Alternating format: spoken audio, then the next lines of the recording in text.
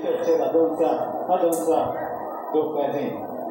Para sua apresentação, a jornada adulta.